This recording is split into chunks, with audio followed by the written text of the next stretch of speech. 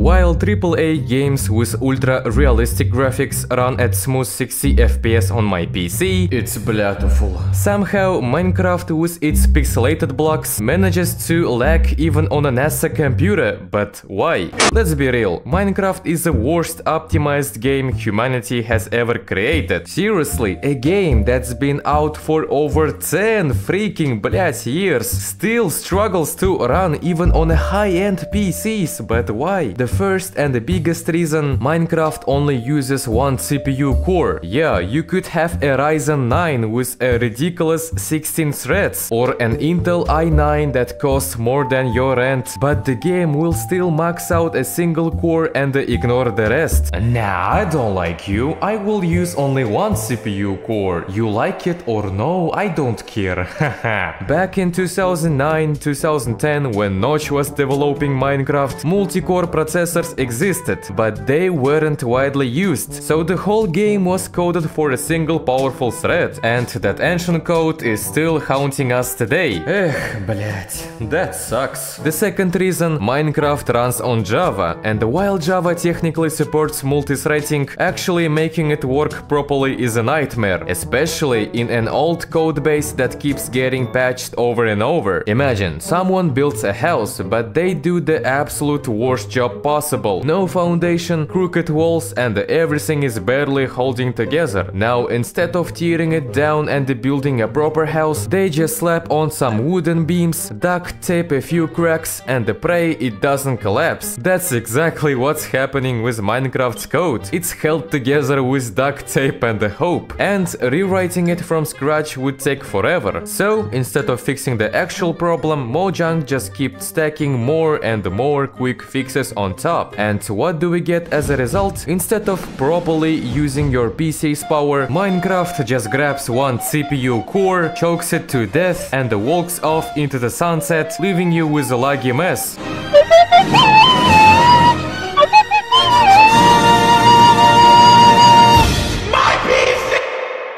and you just wanna see more FPS, I get it. Those random freeze, they suck. And yeah, it would be nice if Minecraft actually runs smoothly for once. But don't worry my friend, humans are smart creatures and we are also humans. And we've already found a solution to this mess. Ever heard of something called Optifine? I bet you have. Everyone and even their grandma knows about Optifine. And everyone is still using it. So what is Optifine? Well, to put it simply, it's a mod mod that optimizes Minecraft. How does it do that? I have no freaking clue, my friend. I am stupid as hell. I am not a programmer. All I know is that it makes the game run better somehow, and for years it's been the go-to fix for lag. But here's one thing. Optifine is old news. It's not the best option anymore. Sodium.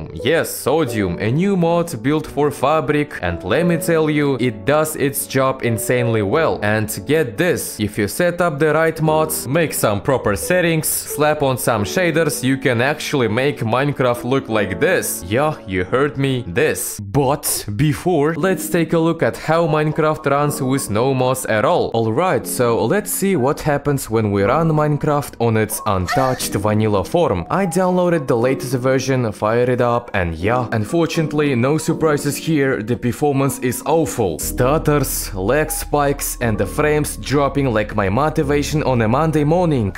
Guys, I don't wanna go to college on Monday, please help me. Now let's see what happens if we crank everything down to the lowest settings. Boom, suddenly we've got decent FPS. But at what cost? The game looks absolutely disgusting, yopta. What the heck is that? It's like Minecraft turned into a 90s horror game. Anyway, don't be upset my fellow lag sufferers because we have Sodium. This little guy combined with Iris can actually make Minecraft run like a modern game. So I installed Sodium, tweaked the settings a little and boom, FPS went way up. And the best part, unlike Optifine, Sodium doesn't just throw duct tape on the problem. It actually reworks how the game handles rendering. Okay guys, we fixed performance, now let's talk about visuals. Because let's be honest, Minecraft without shaders just feels lifeless. So, I tested some shader packs that won't completely kill your FPS.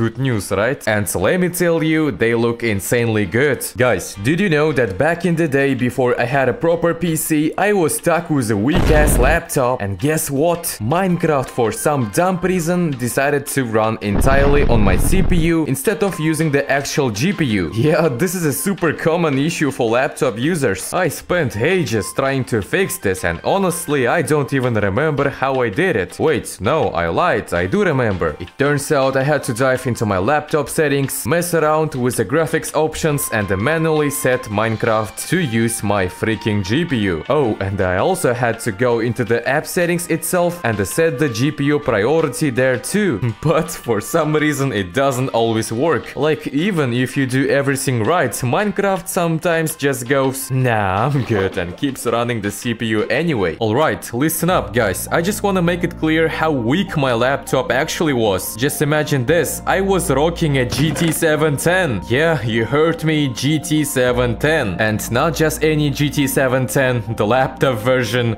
absolute nightmare. And the CPU, some random ass i3. I don't even remember the exact gen, it was 3 or 4. But trust me guys, it was garbage, an absolute garbage. And you wanna hear the worst parts? I only had 4 gigs of RAM. 4, блять, gigs. This thing was struggling to exist. But here's why I'm telling you this. Even on that weak ass laptop, I was able to run shaders. Yeah, all the shader packs I showed you today, they still worked. So if you don't believe me, go test them yourself. They will run just fine. For our whole optimization topic, the shaders are perfect. Okay, if you want Minecraft to stop lagging, here's exactly what you need to do. First of all, you gotta install Fabric. Once you've got Fabric set up, you're gonna need these mods. Fabric API, Indium, Iris and Sodium. And if you want an easy way to check which mods you've installed, I also recommend mod menu. That's pretty much it. If you install all these mods plus the shaders I showed you today or any other shaders that you find yourself, you can seriously optimize Minecraft and make it run absolutely amazing. Yeah, if the guys at Mojang actually worked just one more hour, maybe, just maybe, Minecraft would look something like this. But what if your PC is actually good? What if you want to push Minecraft to absolute limits? Well, my friends, let me introduce you Distant Horizons mod. This mod basically removes Minecraft's render distance limitations and lets you see insanely far. Like, you can actually see full mountains from thousands of blocks away. It's like turning Minecraft into a movie. So yeah, at the end of the day, you've got two choices. You either suffer with vanilla Minecraft's lag and live in pain, or you install these mods and actually enjoy the game. Or if you are lazy ass and don't wanna deal with mods, you could just play Bedrock Edition. Yes, Bugrock, but hey, that's a whole different kind of suffering, yeah?